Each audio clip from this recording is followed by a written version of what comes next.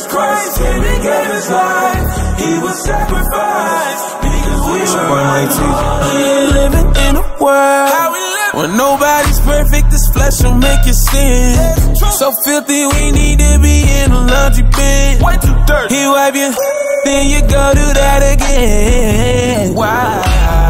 But I got forgive. Yeah, he do. His grace and mercy's infinite, it never ends. never ends. I hear them talk about where I was and where I've suck. But I don't worry because Jesus made me clean. He made me clean. Jesus Christ came and gave his life. He was sacrificed because we were unholy. Had a lot of burdens I was carrying. It's time to bury them.